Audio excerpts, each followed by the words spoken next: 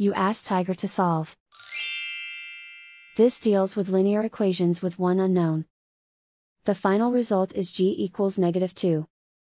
Let's solve it step by step. Group all constants on the right side of the equation.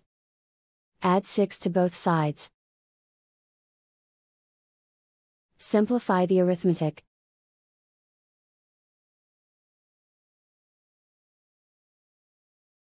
Isolate the g. Divide both sides by 7. Simplify the fraction. Find the greatest common factor of the numerator and denominator. Factor out and cancel the greatest common factor.